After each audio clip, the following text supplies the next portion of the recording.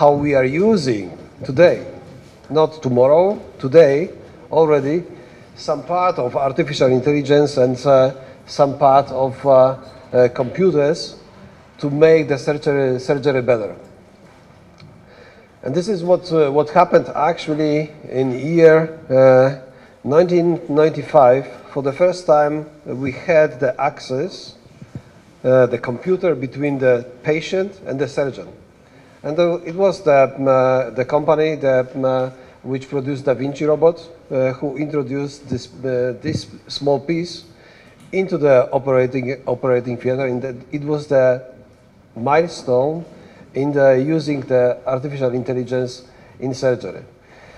Today, in this uh, area, computer-guided surgery, we have different pillars. Uh, in this, uh, the biophotonics, augmented reality, computer vision, and support systems, which are using today. It is already this, those technology uh, we implemented uh, to make the surgery better, to make the surgery safer, and to make us uh, actually not more in stress. We are in more in eustress with this technology. Uh, I will show you why. Because before, we saw actually since 40 years we have laparoscopy in the, on the market and we are seeing just uh, average view of the camera. But with this additional information, you can use this information to save your patient life. Why? Imagine uh, during the fluorescence, uh, uh, the ICG fluorescence, you can see how good is the blood supply in your organs. Also by liver resections. It is used, this technology was introduced in IRCAD, so you can see the, se the selection of the segments which are uh, just getting uh, green and the, the whole other liver is just uh, normal from the normal color. So you can recognize where are the segments are. Before we knew it, but uh, we knew, the, uh, knew it from the anatomy, from the pathological side, after the operation, not before or not during the operation. And this is the absolutely amazing stuff and amazing development today. Of course, we have different applications for the fluorescence, and uh, I would like to show you uh, some uh, um, embryonic layers definition. It's a, this is the pig model, but we use it also uh, by the patients. It's the, this is the rectum resection. And uh, we, uh, we just adjust the ICG in the, uh, uh, in the artery, in the lower mesenteric artery. And all those area here uh, was green. And this is what we are seeing here on the monitor. The other tissue are just looking just completely normal. I don't know from uh, why uh, why the um, uh, Storz, this is the the the, techno, the, the company who was um, this de developing this technology before 20 years, put this white white black picture inside, but everybody are copying that. It's actually ridiculous. It is much more interesting to see the color television. but see also, when nobody have uh, just uh, imagine the situation, uh, the very experienced surgeon have the difficult uh, uh, consultation cannot come into the operating theater, but he can talk. So he is calling assistant and telling, telling him, please cut out everything what is green. It is a very easy instruction. It's like uh, everybody can understand that. And uh, before, when it was the same color, everybody was confused. Actually, what should I do during the operation? That's the point why it is uh, uh, the additional information during the operation. This is the most important thing. And this is this what we need. This is the next step for the autonomous uh, operations about this is the, the stuff what, what Professor Gams uh, was talking about. This is another operation, and uh, I will uh, show you why the intuitive surgical uh, uh, was not uh, so successful in, the, in this region. They have the technology, the, the um, fluorescence, but you have to switch the view. So you can see or the normal view of the camera, or you can see, this is like this, or you can see only the fluorescence. So you cannot, in this mode, you cannot operate. And that's why we put the additional camera, and this is this one, uh, to cheat a little bit uh, the situation. And uh, uh, so we could recognize where are the uh, lymph nodes by the stomach cancer, which we should just remove. And then the, this is the, the, the robot we, we use for the preparation. Uh, the isofluorescence, this is something what was developed last year, and uh, uh, I will tell you the, the, truth, how it was. So we were searching for uh, making research since uh, 2017 with the fluorescence. And uh, we got the first prototypes. It was very exciting. Then it was like a short wire, 40 centimeters with camera, and we put it together, almost together in the computer into the peak in the, uh, in the animal experiment. And then uh, it, it, was exciting that it was green. It was the first sight and it was really very beautiful green, green like a grass in the, in the spring. And then uh, the, the question was uh, uh, in the beginning of the, uh, in the, the uh, in the last year, in summer, how we can know how green is the stuff. So how much blood supply or how much ICG we have in the tissue. It was the, the question about the quality or the quantity of the, of the substance. And then we saw this, and it was a, very hidden project of Storz in uh, IRCAD in 2018. Uh, the Storz didn't want to show it uh, to anybody.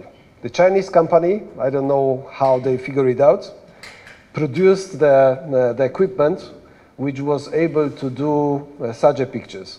So it is still green, it is the same, but they use uh, the visualization to make it, okay, here is less green and the yellow color, it is a, a lot of green. But you still, it is very difficult for the surgeon, okay, uh, let's decide where is the border between the green and uh, blue or where is the border between, uh, um, between yellow and, and green. It is very dif uh, difficult to say it is this point or not. And that's why we used uh, some, some algorithm and we developed like, uh, something like this. And uh, uh, when, uh, when our um, computer scientist was writing this program, program he was asking me, okay, how we will call it. Okay, I was saying, like, um, this is very similar to the meteorological chart, like uh, isobars or something. And then uh, one of my colleagues uh, was jumping in the elevator and said, okay, I have the name, isofluorescence. The company was immediately on it, and it is uh, right now the trademark isofluorescence. Only one company in the world uh, uh, did it, and, uh, and this is this technology we have for the definition. Where is the border? And when you have this, you can say exactly where is enough blood supply to cut the tissue and to get the healing. So it is very important maybe not uh, for the for the liver resection like like this this example, but imagine you want to want to do the anastomosis of the intestine, and you know exactly where is the blood supply enough to get the healing by the anastomosis, and uh, by the rectum resection, it is a very very uh, useful technology. So uh, hyperspectral imaging, uh, actually this is not, uh, not new. The NASA is doing it uh, and, uh, uh, and making the pictures of the Earth and recognizing all the stuff which we, from, from the space. And uh, uh, it was, this was, this was the publication which I, which I found uh, in 2020 because we had also pandemic and there was sometimes to read the new stuff. And this is the kidney after transplantation. This is a good one and this is the bad one. So everybody can say, okay, it is the chance that the, that the patient will live with this kidney and have a, a positive result and a nice uh, uh, treatment. It is about 90%. By this one, actually, uh, we can take it out because it is not functioning. And uh, uh, we asked the company to give us this equipment. So uh, I didn't bought it, I hired it for one year. And then I made this picture. And uh, uh, this is the tissue. the organs were dead, 100%. It was uh, it is 24 hours uh, uh, before the pig was uh, exterminated. And uh, I wanted to, to do actually something else, but the equipment was there, and we make this picture. So as you see, there's a blood supply and some oxygenation in this tissue, but this tissue is absolutely dead. So what does it mean?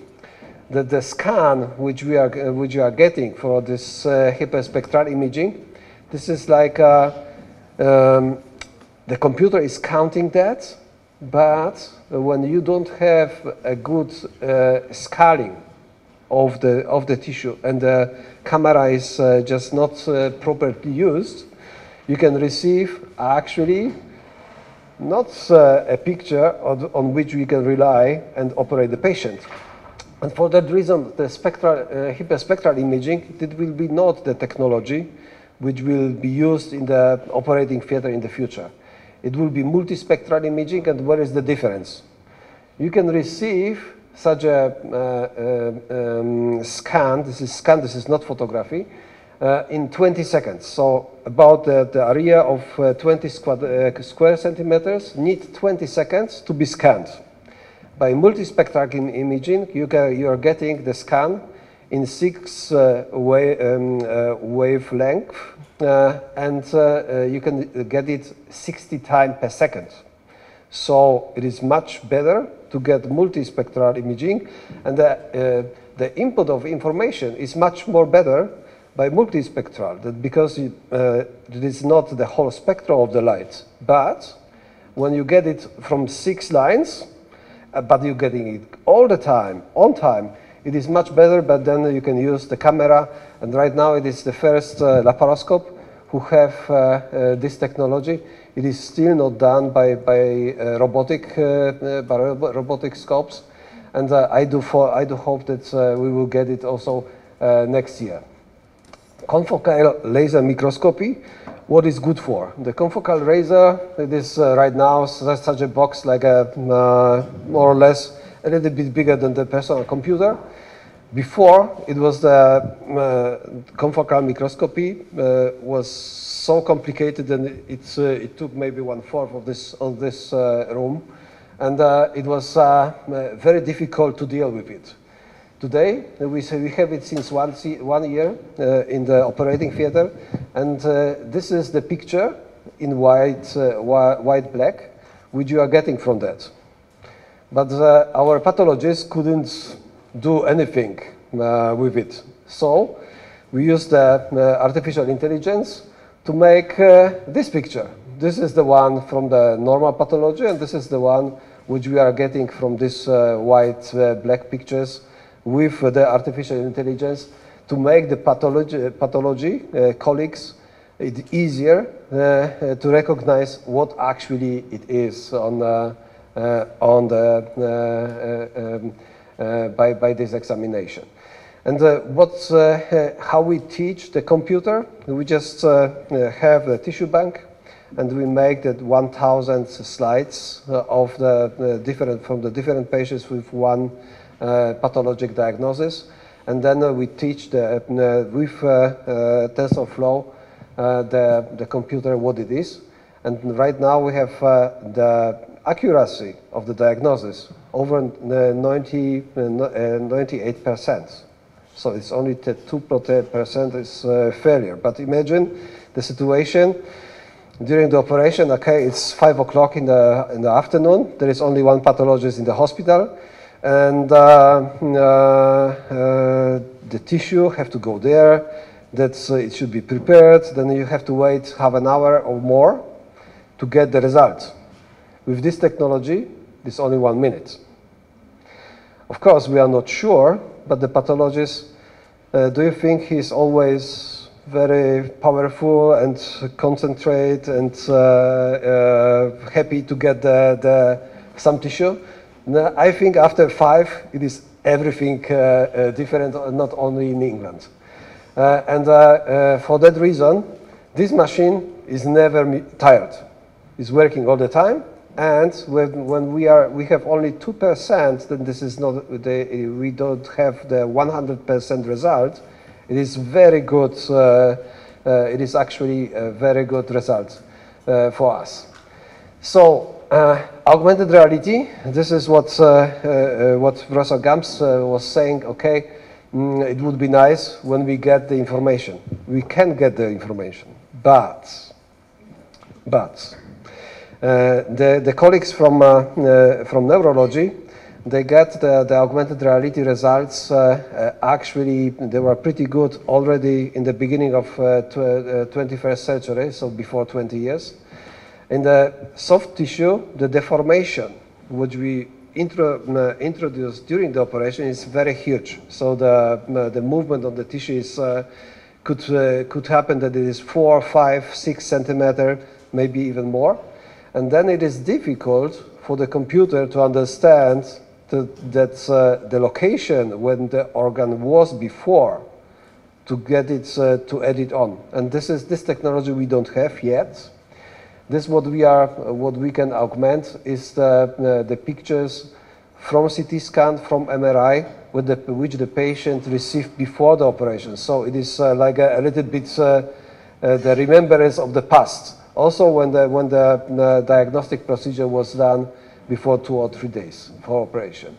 And uh, this is the concept, how this is working. So we are doing MRI, uh, CT scan, PET, or the, sonography. You are taking it out, so you are um, um segmenting the picture, and uh, this anatomic structure which you would like to adjust to the uh, to augment to the uh, to the video, you can select.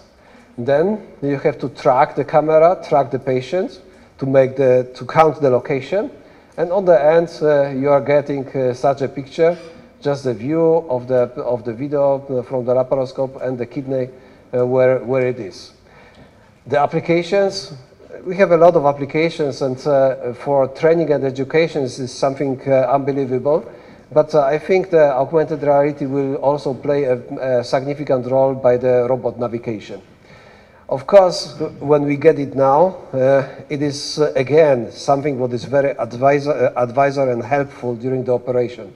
Why? Uh, we saw the, the, the, pictures from the, uh, from the hemihepatectomy, then we can immediately recognize where we are and what it is. And that's why the complication rate, the accuracy, the, the time is everything uh, is reducing the cost on the end, and it is very useful. So we ask also the, the other colleagues, uh, which, uh, which, have, which are very experienced, is, uh, is it good to, get, to receive this technology?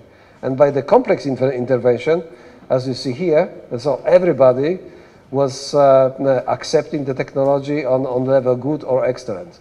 And this is actually the reason why we should have it in the, uh, in the clinic. This is what, what we did uh, in the last three years. And uh, uh, we were concentrated on the all organs which are in retroperitoneum. And uh, here was kidney, the rectum, and, and pancreas, which, were, which we was focused on. And as you see in the lab, uh, it is pretty easy that we, we got the, uh, the scans, we could uh, um, we could retract the, the, the, organs which we are interested in. But uh, uh, during the operation, it was quite uh, different because uh, the adju this, adjusting, this adjusting of the, uh, of the picture on the, on the living video, it is very difficult because the structures are moving a little bit. When you are preparing, it is uh, just changing the position, and then your augmentation is not real. Uh, you cannot uh, get it on the real time. And this is the second part of the project which we are uh, trying to do now to get the augmentation which is uh, automatically uh, adapted to the to the situation which we are getting from during the during the operation. And then uh, there was another engineer who, uh, who told us uh, why you need uh, only uh, the, the anatomical structure. We should uh, adjust something what is happening in inside of, of, it, of it. And this is one example of, of this. So you can, you can see here the direction of the blood flow and with the uh, periodical files. Uh, you can uh, just adjust the information, how, how is the heart rate from the patient. and this is what, what you can see here. then we don't know what kind of operation it is, but immediately we can recognize the aorta and uh, then the ureter. And when I'm seeing this small part, this is the presacral veins, I know that this, uh, uh, this patient is actually a peak and then uh, uh, you can recognize it from, from the anatomy. So it is very useful uh, to immediately recognize where are the important anatomical structures on your also very small uh, uh, small area of, of the uh, of, of interests. the another the another engineer what, which was um, taking care about the laparoscope was saying, okay, uh, let's scan the abdominal cavity. I said, okay, what, what do you need? I need uh, just a film which is showing the room around, and then I can count how it is looking like in 3D. And uh, uh then uh, we, he combined those two pictures.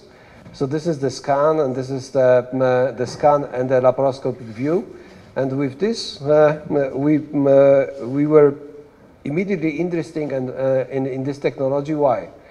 You saw before the, uh, the views from the, mm, uh, from the robots. They are very small. The, uh, the, the, um, uh, the surface which you are seeing uh, during the uh, robotic surgery is about, have about diagonal from 8 centimeters.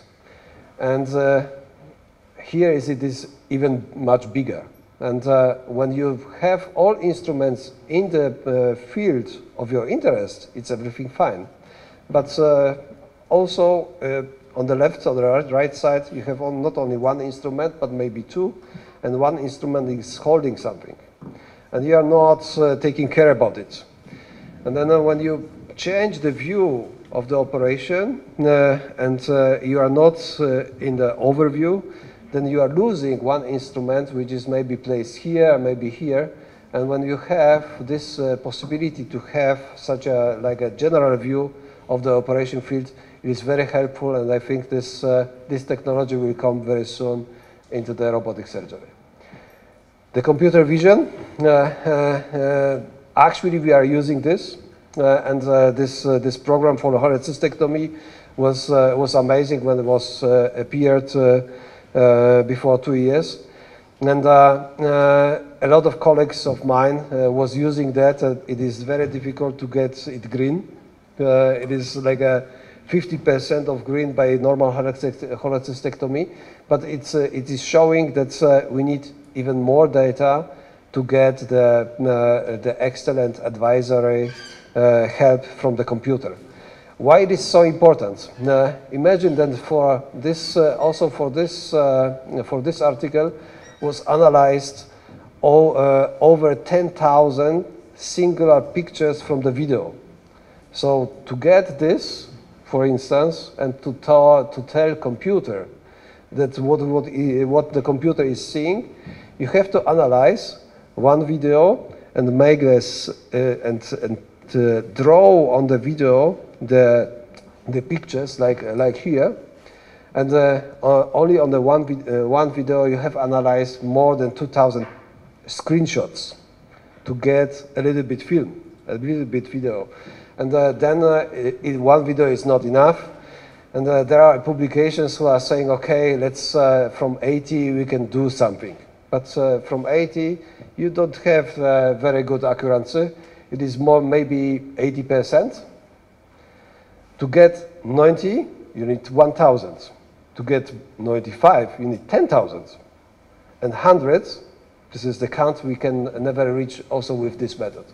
But uh, the computer vision, what, what it is giving us, it is giving us a lot of lots of information. This, uh, this is amazing how much how many information we can we can get.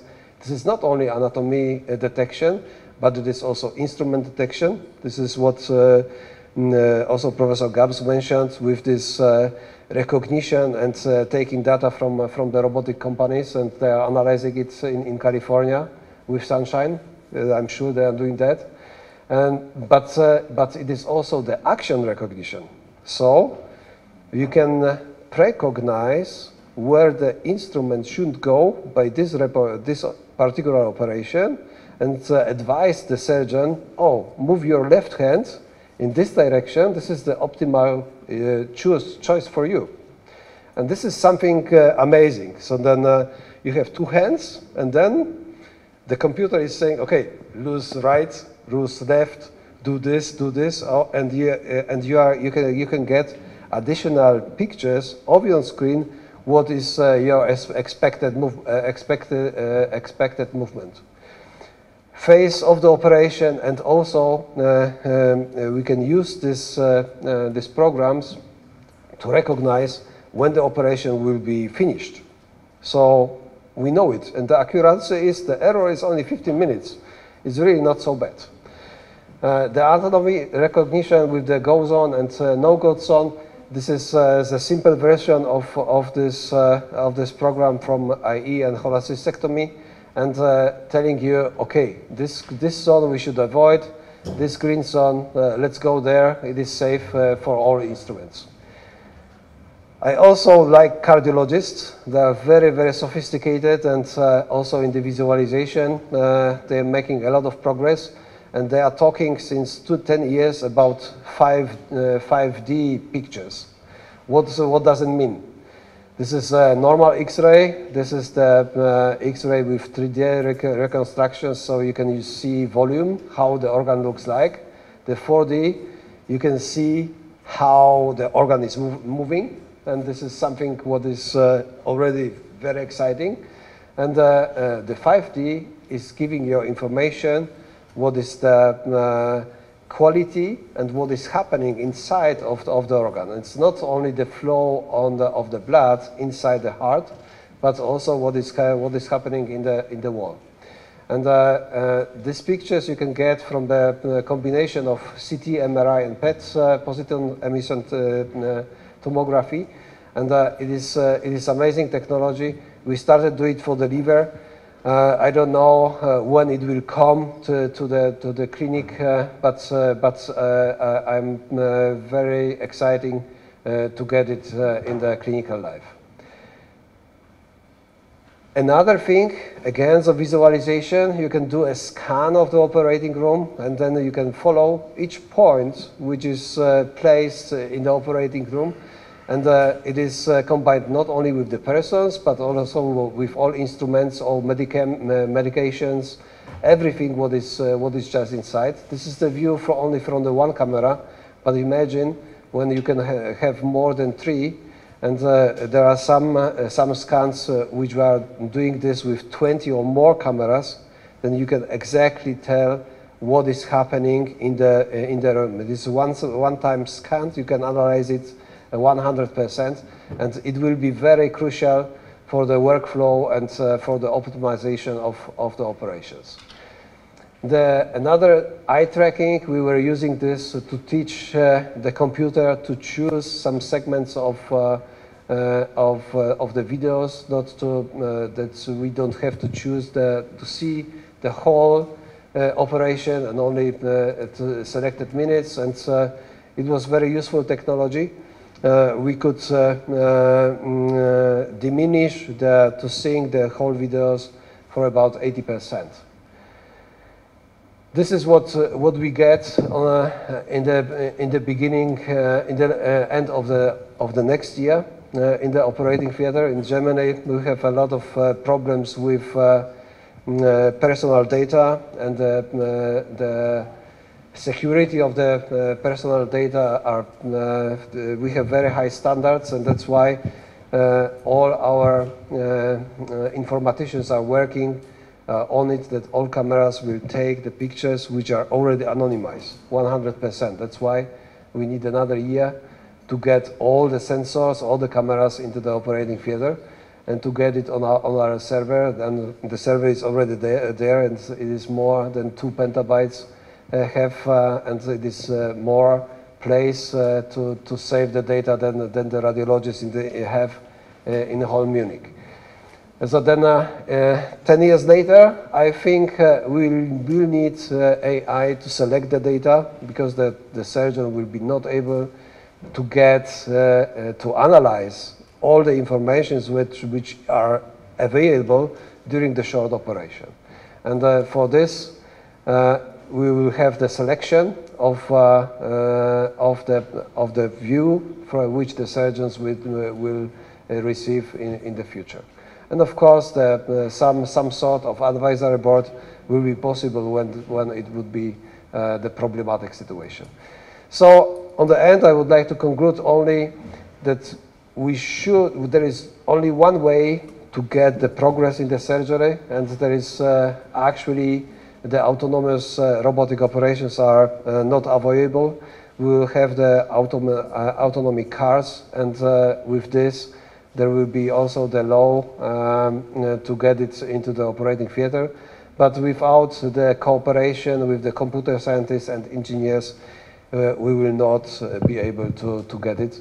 And also from the uh, medical side, it is very important to get some sort of computer science and uh, some uh, short cu curriculum during the medical studies um, uh, to, to understand how the technology is influencing us and how it is acting to use it better for our patients.